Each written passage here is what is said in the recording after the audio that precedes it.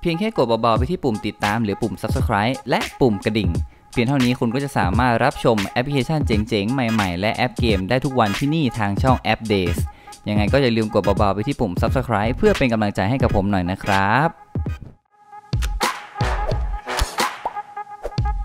สวัสดีครับกับโฮ AppDays เช่นเคยนะครับผมก็ก่อนที่เราจะไปดูเรื่องที่ผมจะแนะนำนะครับในเรื่องของสไตล์การเล่นของนักเตะ แล้วก็จะบอกนะครับว่าพรุ่งนี้เนี่ยจะมีการปิดปรับปรุงนะครับเป็นเวลา 1 ชั่วโมงนะครับแต่ว่าข้อความของเกมเนี่ยเขาได้ลบไปแล้วนะครับผมมันก็เลยไม่ขึ้นนะฮะผมก็ไม่เข้าใจเหมือนกันว่ามันหายไปไหนนะครับผมก็เท่าที่จำได้นะครับคือเขาจะปิดปรับปรุงนะครับตั้งแต่ตอนเที่ยงจนถึงบ่ายโมงตรงนะครับผม 1 ชั่วโมงเต็มนะครับซึ่งอาจจะมีเร็วกว่านั้นหรือว่าช้ากว่านั้นก็ขึ้นอยู่กับตัวเกมด้วยนะครับผม ก็ไม่ต้องตกใจถ้ามันขึ้นโค้ด10นะฮะพูดกันรอบที่ 100 แล้วนะครับ ส่วนอีเวนต์นะครับทั้ง2อีเวนต์เลยนะครับสำหรับ Tour Event นะครับยูฟ่าแชมเปี้ยนลีกนะครับผมแล้วก็ตัว Online Match Challenge ก็จะจบพร้อมกันนะครับเวลาเที่ยงของพรุ่งนี้นะครับแนะนำว่าให้เล่นจนถึงแค่ 11โมงครึ่งพอนะครับเดี๋ยวจะพลาดรางวัลแล้วก็เสียสายฟ้าหรือว่า Energy ฟรีนะครับผมเช่นเดียวกันนะครับผมกับเรื่องของรางวัลต่างๆนะครับที่เราจะได้ในโหมดที่ว่า local league นะครับแข่งกับเพื่อนด้วยนะครับผมแล้วก็ ตัวสุดท้ายนะครับก็คือบล็อกดอนะครับที่เราจะได้เปิดกันนะครับผมใครยังไม่เปิดก็รีบๆเปิดนะครับเพราะพรุ่งนี้เป็นวันสุดท้ายแล้วนะครับผมก็คือพรุ่งนี้ถึงประมาณ 11โมงครึ่งนะครับที่ผมแนะนำนะครับก็สำหรับบล็อกดอนี้นะครับผม Group Stage Volume 2นะครับผมของยูฟ่าแชมเปี้ยนลีกนะครับโอเค เดี๋ยวเราพักเรื่องทุกอย่างไว้แค่นี้นะครับเดี๋ยวเราจะไปดูกันต่อในเรื่องของสไตล์การเล่นที่ผมจะมาแนะนำสำหรับนักเตะนะครับผมโอเคพร้อมแล้วไปกันเลย ทั้งในชีวิตจริงนะครับแล้วก็ในเกมนะครับผมนักเตะแต่ละคนเนี่ยก็จะมีสไตล์การเล่นที่ไม่เหมือนกันนะครับรวมถึงคนที่เล่นเกมด้วยนะครับเพราะฉะนั้นเนี่ยผมเลยอยากจะมาแนะนำนะครับสไตล์การเล่นของนักเตะแต่ละคนนะครับเพื่อที่เราจะได้เอาไปปรับใช้กันนะครับผมมาดูที่สไตล์แรกกันเลยนะครับ Go Poacher นะครับหรือว่านักล่าตาข่ายนะครับนักเตะคนนี้จะมีความสามารถในการทำประตูโดยเฉพาะนะครับกลมกลืนอยู่ในกรอบเขตโทษของฝ่ายตรงข้าม ทักษะในการทำคะแนนสัญชาตญาณในการเป็นนักเตะที่คอยจะทำประตูอยู่ตลอดเวลานั่นเองนะครับผมซึ่งนักเตะนะครับที่มี ในตัวของสไตล์นี้นะครับแล้วที่ผมอยากจะแนะนำนะครับนั่นก็คือคนนี้เลยครับผมเอียกัวอินนั่นเองนะครับผมนะก็ลองไปหากันมาดูได้นะครับโอเค มาครับผมมาต่อมานะครับผม Dummy Runner นะครับผมนักวิ่งดึงตัวประกบนะครับ ก็คือผู้เล่นที่คอยดึงดูดการแนวรับของฝ่ายตรงข้ามนะครับ เพื่อสร้างพื้นที่ให้กับผู้เล่นคนอื่นๆนะครับ เช่นสมมติว่าพอเพื่อนเราว่างปุ๊บเราก็ส่งให้เพื่อนทำประตูอะไรแบบนี้นะครับ เป็นตัวดึงกองหลังของฝ่ายตรงข้ามนั่นเองนะครับผมคนที่มีสไตล์การเล่นนี้นั่นก็คือ นี่เลยครับผมดีมาเรียนั่นเองนะครับผมมาต่อกันไปที่สไตล์ต่อไปนะครับ Fox in the Box นะครับคือหรือว่าจริงๆแล้วเนี่ยเขาเปรียบเปรยกับจิ้งจอกนะครับที่อยู่ในกรอบเขตโทษนะครับเป็นการซ่อนตัวเนียนๆอยู่ในกรอบเขตโทษนะครับคอยป้วนเปี้ยนอยู่ในระยะ 18 หลานะครับเพื่อคอยฉวยโอกาสแล้วก็ทำประตูนั่นเองนะครับผมสำหรับผู้เล่นที่มีสไตล์การเล่นแบบนี้นะครับก็แน่นอนครับผมไม่ใช่ใครคนไหนนะครับหลายๆคนเนี่ยรู้จักกันดีอยู่แล้วนะครับกับสตาร์ตันอิมบาฮิโมวิชนั่นเองนะครับผมที่มีสไตล์การเล่นนี้นะฮะ ต่อมานะครับผม Target Man นะครับผมตัวพักบอลนะครับพูดง่ายๆนะฮะก็คือเป็นผู้เล่นคนสำคัญนะครับที่คอยเก็บบอลนะฮะแล้วก็จะคอยหาตำแหน่งสำคัญ หรือว่าหาตำแหน่งได้เปรียบนะครับ แล้วก็พักบอลส่งบอลให้เพื่อนหรือว่ายิงเพื่อทำประตูนั่นเองนะครับผมสำหรับ Target Man นะครับผู้เล่นแนวรุกคนสำคัญเลยนะครับคนนี้นะครับก็นั่นก็คือคาวานี่นั่นเองนะครับสำหรับคนที่ผมแนะนำนะครับ ต่อไปนะครับผมมาดู Creative Playmaker กันบ้างนะครับผมก็คือผู้เล่นนะครับ ที่คอยทำเกมอยู่อย่างสร้างสรรค์นะครับผมคอยควบคุมในแนวการบุกต่างๆนะครับผมรวมถึงคอยเติมเกมอยู่แทบจะตลอดเวลาเลยนะครับผมแน่นอนฮะนักเตะคนนี้นะครับคงไม่มีใครไม่รู้จักเขาแน่นอนนะครับเพราะว่าเขาโด่งดังมากๆนะครับนั่นก็คือคนนี้เลยนี่นะครับเรโอเนลเมซี่นั่นเองนะครับผู้มีสไตล์การเล่นแบบนี้นะครับจากในเกมนะฮะโอเค Prolific Winger นะครับหรือว่าปีกตัวทำสกอร์นะครับผมก็คือ เป็นผู้เล่นอีกคนหนึ่งนะครับที่จะเป็นปีกนะครับไม่ปีกว่าจะปีกซ้ายหรือปีกขวานะครับแล้วส่วนใหญ่จะอยู่ในแนวกองหน้านะครับผมก็คือจะคอยเลี้ยงบอลจากริมเส้นนะครับแล้วก็ตัดเข้ามาตรงกลางเพื่อทำประตูนั่นเองนะครับผมแล้วก็คนนี้เลยครับ เจ้าของรางวัลที่ฟีฟ่าเพิ่งให้รางวัลไปนะครับนั่นก็คือคริสเตียโนโรนัลโดนั่นเองนะครับผมกับ CR7 นะฮะมาดูที่สไตล์ต่อไปนะครับนั่นก็คือ Classic Number Ten หรือว่าเบอร์ 10 สุดคลาสสิกนะครับจริงๆแล้วเนี่ยก็เป็นต้นตำรับของผู้เล่นแนว playmaker เลยนะครับผม ซึ่งเป็นนักเตะคนหนึ่งนะครับที่มีความฉลาดมากในการเล่นบอลนะครับ เน้นการจ่ายบอลที่ได้เปรียบนะครับผมมากกว่าวิ่งเติมเกมอยู่เฉยๆนะครับผม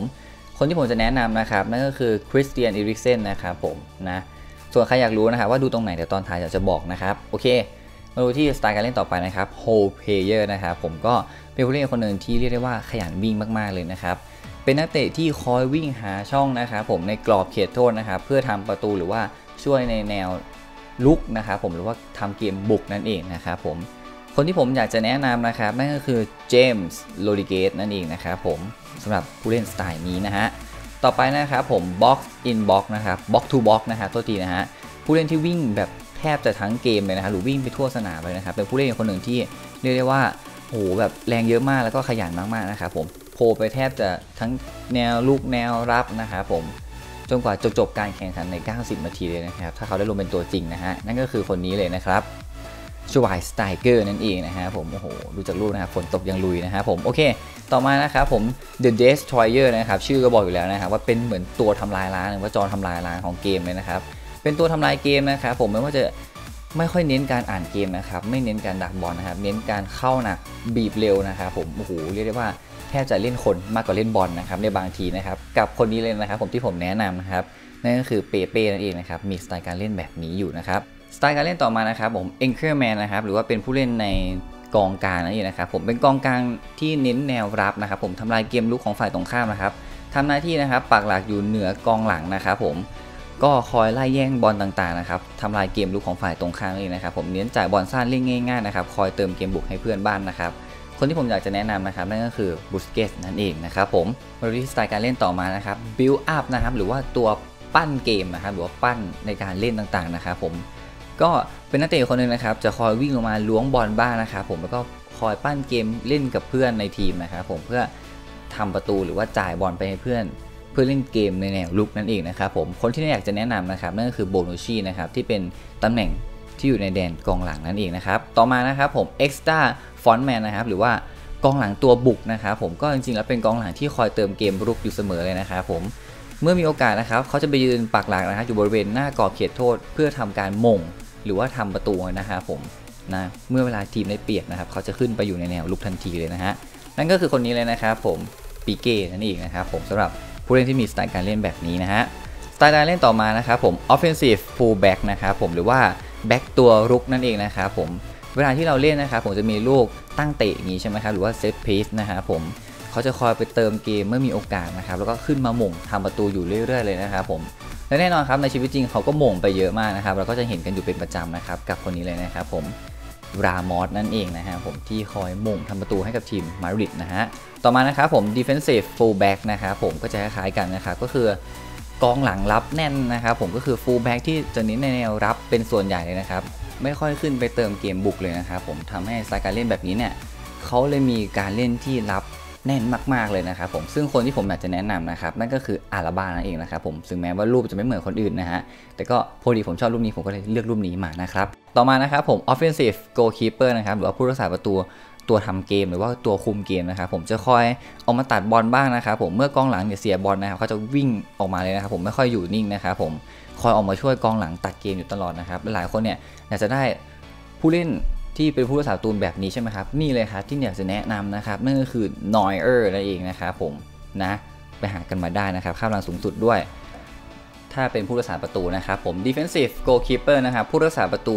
ที่คอยคุมเส้นนะครับผมเป็นผู้รักษาประตูที่เน้นชัวร์นะครับไม่ออกมาตัดเกมบ่อยๆนะครับแต่ว่าถ้าไม่จำเป็นจริงๆเนี่ยเขาจะไม่ออกมาตัดเกมเลยนะครับแล้วก็บอกเลยว่าเขานี่คือแบบผู้รักษาประตูที่หลายๆคนเนี่ยชอบนะครับนั่นก็คือนี่เลยครับผมบูฟฟอนนั่นเองนะครับหรือว่าน้าบูฟของเรานั่นเองนะครับผมโอเคมาดูกันดีกว่านะครับผมว่าไอ้ที่ผมพูดไปทั้งหมดนะครับในเรื่องของสไตล์การเล่นเนี่ยถ้าใครอยากจะรู้นะครับว่านักเตะคนไหนเนี่ย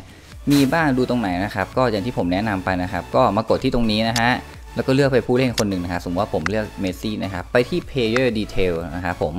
แล้วก็เลื่อนไปเลยครับ เลื่อนป้อยจนไปถึงหน้าที่ 4 นะครับผม นี่นะครับมันจะอยู่ตรงนี้นะครับผม นี่ฮะจะเห็นนะครับว่า playing styles นะครับผม creative playmaker นะครับที่ผมพูดไปก่อนหน้านี้นั่นเองนะครับผม